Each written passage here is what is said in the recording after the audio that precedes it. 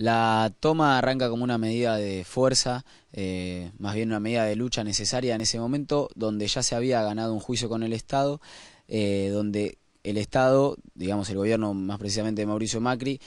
tenía un negocio en el Centro Cultural San Martín, que era ir vaciándolo de a poquito para dejarlo sin actividades. La sala Alberdi no depende del Centro Cultural San Martín, pero sí queda situada en el espacio físico. Entonces el conflicto deriva del espacio. Nosotros estamos manteniendo la toma para garantizar el cumplimiento del fallo, que dice que tienen que reabrir la sala Alberdi para que vuelva a su funcionamiento. La sala IB que tenía capacidad para mil personas quedó hecha un depósito. Los talleres hoy en día fueron movilizados del espacio. Las salas que mantenían una programación eh, abierta al público, con programación eh, a la gorra o gratuita, dejaron de funcionar y así fueron bajando todo lo que era mantener el espacio vivo para poder generar que la gente se olvide de que tenía un centro cultural en el medio de la ciudad, lo que la toma generó fue que todos los estudiantes que nos fuimos acercando a la toma, tanto de los talleres de la sala Alberdi como de otros espacios, mantengamos la toma con la autogestión. Esto significa que abrimos el espacio al público, que mantuvimos una programación abierta, tanto de danza, de teatro, de música, espacios radiales,